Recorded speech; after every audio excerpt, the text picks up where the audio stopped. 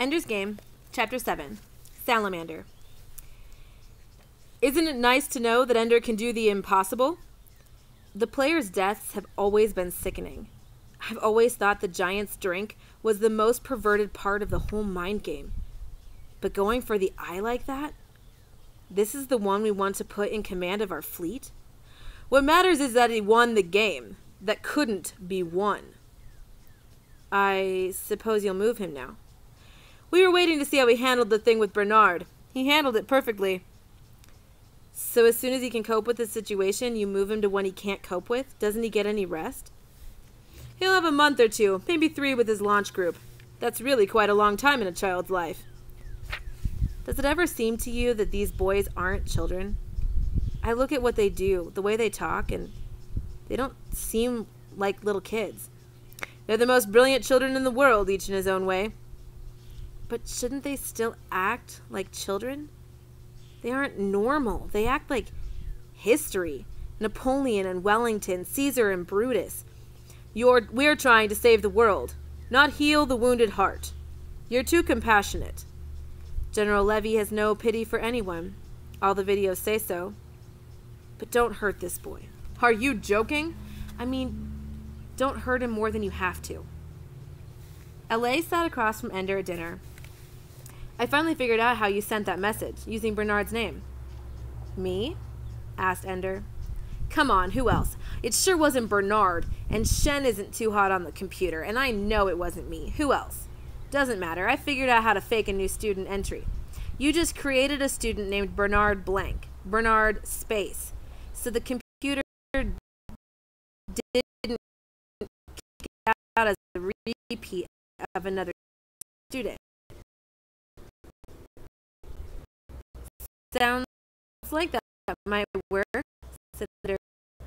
Okay, okay, it does work, but you did have ticket on the first day.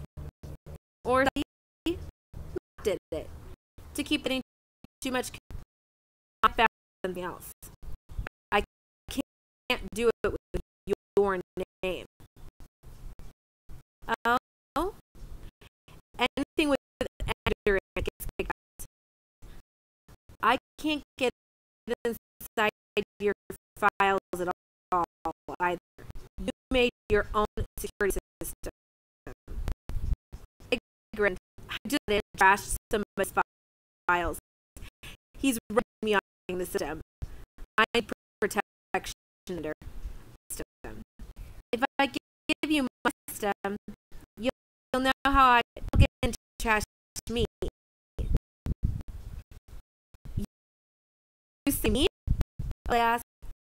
Ah, the, the sweetest friend you got. And your laugh. I'll for you.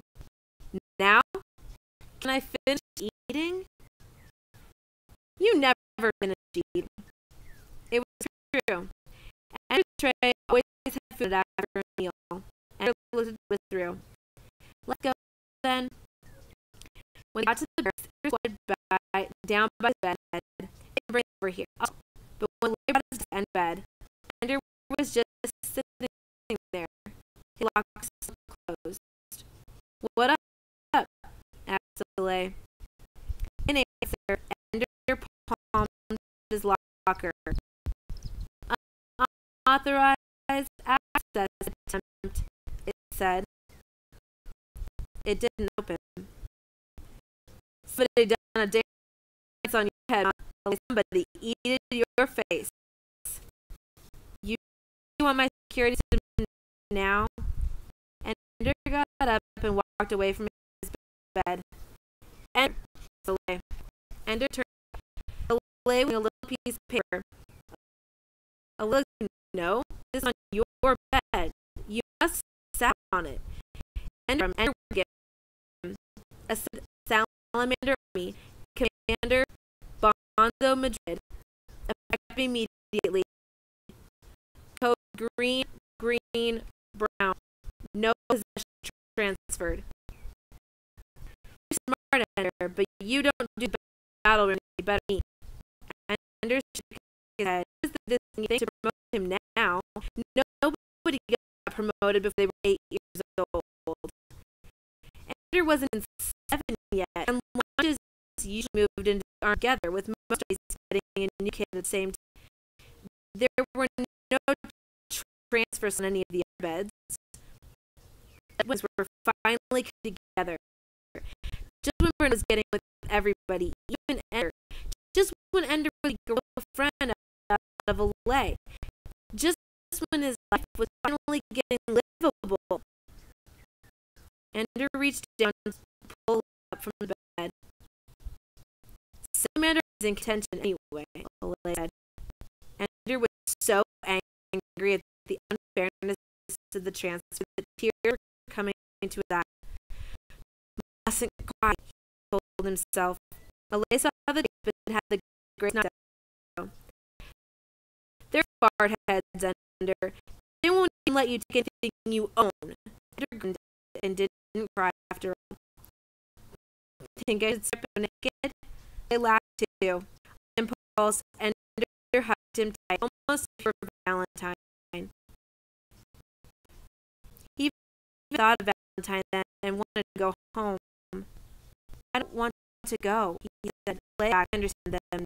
You the best. Maybe it's everything. They wanted everything, said I wanted to learn what it was like to have a, a so my friend. Always best of my friends, he thinking. My brothers, he laid under on the ear. Locked face, he turned and walked to his own at the back of the barracks.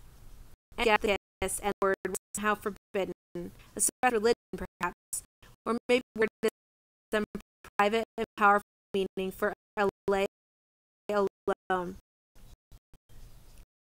Whatever it meant, Alai, and you know that was sacred. They had uncovered for Ender as one Mother when he was young with the monitor in his neck, and she had put her hands on his head when he, thought he was asleep and prayed over him. Ender never spoken to anyone, not even to mother, had it as a memory of holiness. His mother loved him when she thought that no one, and not even he, could see her. That was well given him, a gift so sacred that Ender could not allow understand men. Such nothing as something could be said. Larry reached his bed and turned to Ender, eyes for only a lock and understanding. And there were no being invisible. He had to pick up colors in one of the public areas. The others would finish very soon. He didn't want to near us tall. The game would be nearly empty. None of the games appealed to him, though he felt now. So went back to the back of the room and signed on to pride Quickly, giant now, carefully down to the giant in the midst of them. For a while, and rat gnawing at the body, night they to The giant's corpse was to see torn by the scab was torn. Maggots had done their work on the organs. Now it was the, desiccated mummy, hollowed in a rid grin, his empty fingers curled.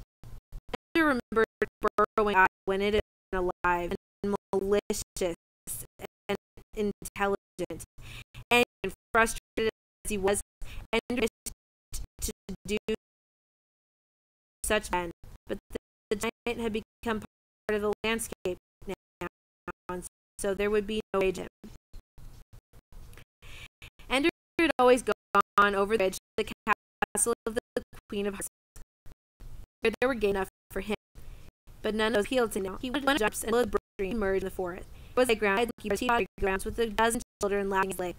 Ender came and found in the game he had become a child, though usually his gears game well. In fact, he was more than the other children. But I slack ignored him. He stepped to the top, whirled down the long spot round, then to sleep. He had normal right this land under the ladder. The side not hold him. Another bars. He could climb away, then random a bar seemed to be substantial help. He could on the seesaw until he rose to the apex, then he fell. The merry-go-round went He could not hold on to any bars, and centrifugal force hurled him off. The other children laughed with raucous, offensive. They circled around him and pointed and laughed for many seconds before they went back to their, play. And wanted to hit them. Threw them in the brook. Instead, he walked into the forest. He found a path, road, evergreen, still handable games off side, but Ender followed none of them. He wanted to see the path led, clearing the middle sign that said "Drink Traveler," and went forward and looked at the well on the The wood as slapping wolves with human faces and eyes the children from the playground. Only now their teeth could tear and quick dirt. His next figure appeared as usual in the same spot and was eaten again, though Ender tried to climb down into the well. The next appearance, though, was at the playground. Again the children laughed at him. Laugh all you want, Ender thought. I know what you are. He pushed one of them. She followed him, angry. Ender led her up the side. Of course he fell through, but this time, following so closely behind him, she also fell through. When she hit the ground, she turned into a wolf and lay there, dead or stunned. One by one, Ender led each of the others into a trap. But before he had finished off the last of them, the wolves began reviving and were no longer children. Ender was torn apart again. This time, shaking and sweating, Ender found his figure revived on the giant's table. I should quit, he told himself. I should go to my new army. But instead, he made his figure drop down from the table and walk around the giant's body to the playground. This time, as soon as the child hit the ground and turned into a wolf, Ender dragged the body to the brook and pulled it in. Each time the body sizzled as though the water were acid. The wolf was consumed, and a dark cloud of smoke arose and drifted away. The children were easily dispatched, though they be began following him in twos and threes at the end. Ender found no wolves waiting for him in the clearing, and he lowered himself into the well on the bucket rope. The light in the cavern was dim, but he could see piles of jewels. He passed them by, noting that behind him eyes glinted among the gems. A table covered with food did not interest him. He passed through a group of cages hanging from the ceiling of the cave, each containing some exotic, friendly looking creature. I'll play with you later, Ender thought. At last he came to a door, with these words in glowing emeralds The end of the world. He did not hesitate. He opened the door and stepped through. He stood on a small ledge high on a cliff overlooking a terrain of bright and deep green forest with dashes of autumn color and patches here and there of cleared land. With ox drawn plows and small villages, a castle on a rise in the distance, and clouds riding currents of air below him. Above him, the sky was the ceiling of a vast cavern, with crystals dangling in bright stalactites. The door closed behind him.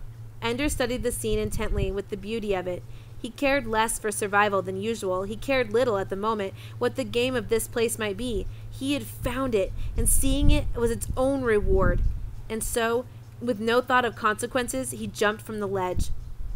Now he plummeted downward toward a roiling river and savage rocks, but a cloud came between him and the ground as he fell, and caught him and carried him away. It took him to the tower of the castle and through the open window, bearing him in. There it left him in a room with no apparent door in floor or ceiling, and windows looking out over a certainly fatal fall. A moment ago he had thrown himself from a ledge carelessly. This time he hesitated. The small rug before the fire unraveled itself into a long, slender serpent with wicked teeth. I am your only escape, it said. Death is your only escape.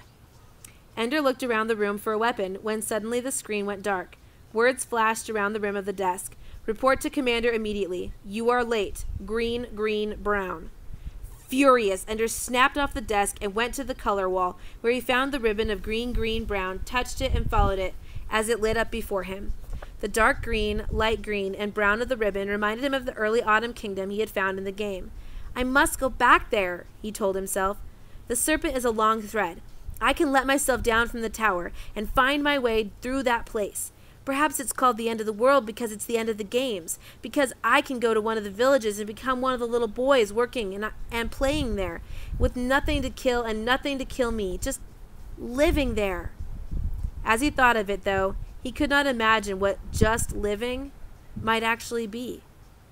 He had never done it in his life, but he wanted to do it anyway.